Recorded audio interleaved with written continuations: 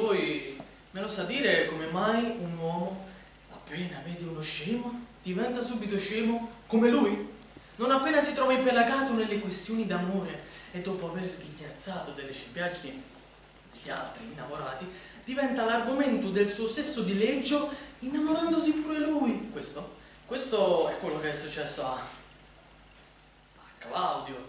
Claudio io l'ho conosciuto quando l'unica musica che amasse era il tamburo di guerra ed ora preferisce le canzoni d'amore. L'ho conosciuto quando avrebbe percorso dieci miglia a piedi per indossare una bella armatura ed ora è capace di vegliare dieci notti di fila per scegliere un nuovo giustacuore.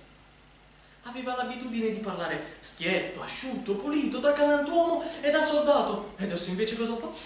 Cipi, cipi, cipi, cinguetta. Capiterà mai che anche io venga convertito e veda con occhi innamorati? Non lo so, direi proprio di no. Ovviamente non posso giurare che l'amore non riesca a trasformarmi in un'ostrica, ma posso giurare che finché non mi abbia trasformato in un'ostrica non farà mai di me uno scemo. Una donna è bella, tanto piacere. Un'altra è saggia, eh, tanto piacere. Una terza è virtuosa, eh, tanto piacere ancora. Ma finché le tre grazie tutte insieme non saranno riunite in una donna soltanto, nessuna donna entrerà mai nelle mie donna deve essere. Ricca, questo è certo, intelligente neanche ci parlo, virtuosa non so neppure contrattarla bella, o manco la guardo mite o nemmeno mi ci siedo accanto, nobile, o neanche se mi pagano. Poi deve essere una brillante conversatrice, un eccellente musicista. Il colore, il colore dei capelli, quello, quello, quello lo lascio scegliere al buon Dio. Arriva.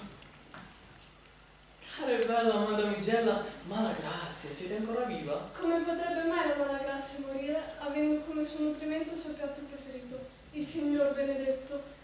Io non ne avevo nessuna voglia, ma mi hanno pregato di venire a chiamarmi per cena. Vi ringrazio di tutto cuore per le pene che vi siete presa per me, oh cara, oh dolce, oh gentile signora Beatrice.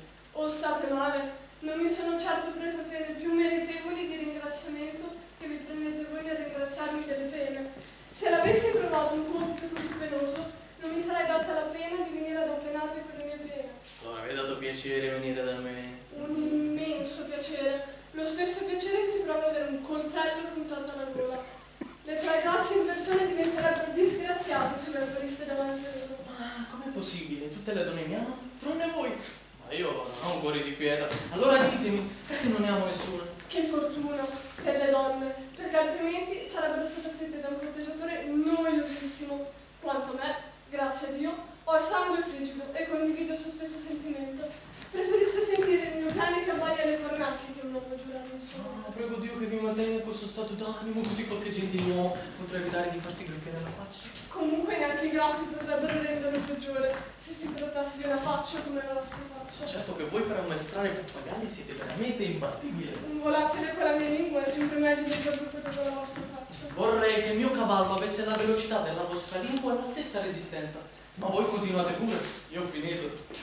Buffone, è solo un buffone, un buffone che non è buffo, capace solo di scogitare calunnie inverosimili, famoso non per la sua arguzia, ma per la sua volgarità, perché al tempo stesso diverte ed irrita i suoi simili, che prima ridono e poi lo bastonano. Perché non sono un uomo? Perché non sono un uomo? Gli strapperei il cuore e lo mangerei sulla piazza del mercato. O potessi essere uomo, o avessi un amico uomo capace di essere uomo per amor mio. Ma la virilità si è spappolata in inchini, il valore in complimenti, e gli uomini sono tutti lingua, e lingua inzuccherata. Quanto a me, non posso diventare donna e uomo solo perché lo vorrei, e morirò donna e donna disperata.